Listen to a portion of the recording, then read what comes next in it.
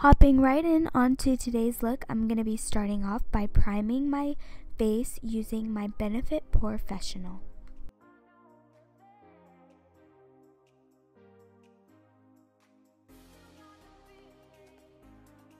Quickly, I'm going to move on to my foundation. I'm going to film a updated foundation routine. So all I'm doing here is applying the Revlon Colorstay Foundation in Caramel and I'm using the Real Techniques Complexion Sponge.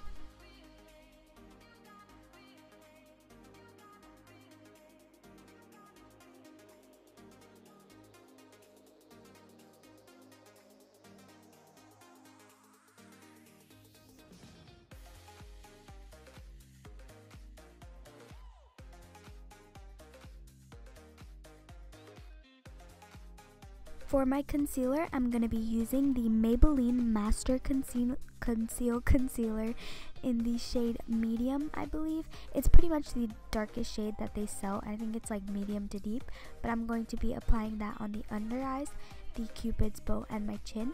Then I'm going to be taking a BS Mall brush and blending everything out.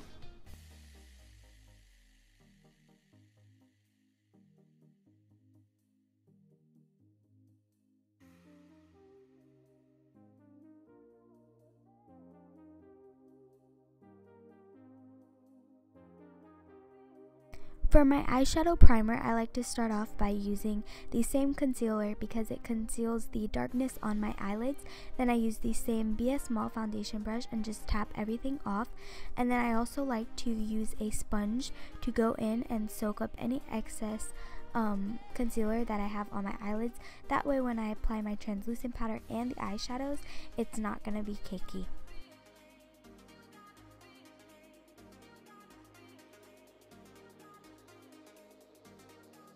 Now to set the under eyes, I'm going to be using a Morphe 348 brush and I'm going to be using the Coty Airspun Translucent Powder and I'm going to be setting that on my eyelids and I'm also going to be using the same powder to set my under eyes. I'm not baking in today's video because my skin has been quite dry so I'm just going to go in and just set everything that way there is no creasing. Recently, I placed a order with Morphe and I'm going to be doing a review on their brushes because guys, they're actually really, really nice. The only place that I like to bake is my chin because my chin seems to break up when I apply foundation there. So that's all I do and then I just dust it off. Today for my eyeshadow, I'm going to be using the ABH Modern Renaissance palette. For the transition shade, I'm going to be starting off with the shade burnt orange and that like I said that's just gonna be my transition shade. And I'm using a BS Mall blending brush.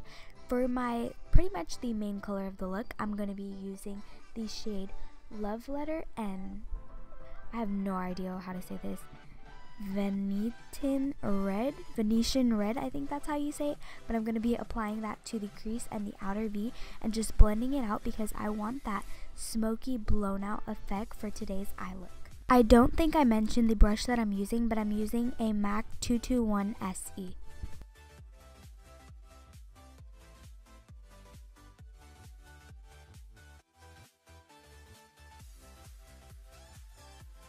Pretty much I'm just going back in and doing everything that I did on my right eye to my left eye.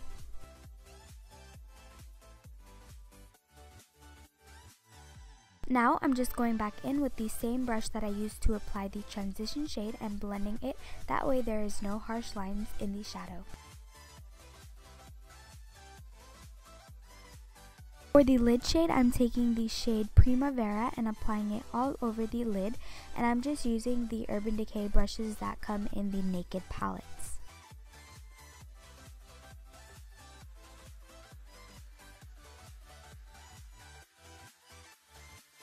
Here I'm going back in and touching everything up because I did feel like the shades needed to be blended with the transition and lid shade because I didn't like how harsh the lid shade came off.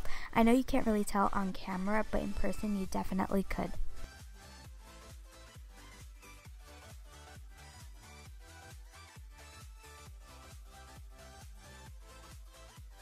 Taking these two shades that I applied on my lid as the main color, I'm going to be running it on my lower lash line and connecting it to the upper lash line. That way everything is nice and seamless. The brush that I'm using is the Morphe E18.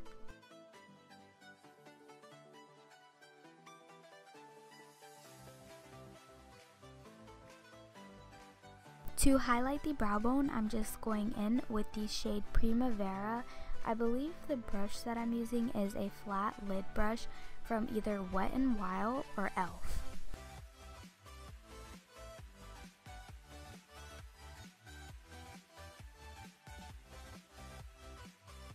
Taking my ABH contour kit and my IT Cosmetics powder brush, I'm just going to be bronzing the face with the shade Havana.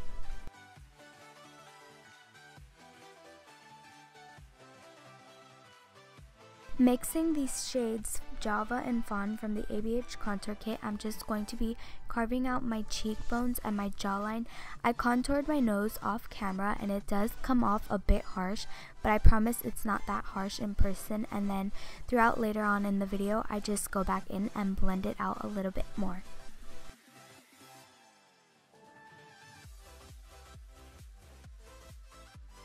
Now to clean up the contour, I'm taking the Real Technique Complexion Sponge and some Coty Airspun Translucent Powder and I'm just going underneath the contour and carving it out. I'm not baking, I go in with the Morphe um, E48 and just blush, blush, what the heck, just brush everything away. I cannot remember the name of this blush off the top of my head, but I'm just going in with a Sephora blush blush brush. I cannot say that tonight. And I'm just going to be applying that to the apples of my cheek and swiping it backwards. That way there is no harsh lines on my blush. Taking Champagne Pop and the Morphe M310, I'm just going to be highlighting the typical places, the bridge of my nose, tip of the nose, tops of my cheekbones and Cupid's bow. Guys, today I bought Prosecco Pop and I cannot wait to apply it on my face because I swatched it and it's absolutely stunning. Oh my gosh, I cannot wait to use it in my upcoming video. Plus it was like the last one out of three so i was so excited to get my for my lipstick today i'm going in with my liquid lippy in kat von d because i thought it paired very nicely with the eyes and it wasn't too overpowering Thank you all for tuning in and watching this video. I hope you guys all enjoyed. Be sure to subscribe to my channel and I will definitely speak to you guys in my next video. Bye!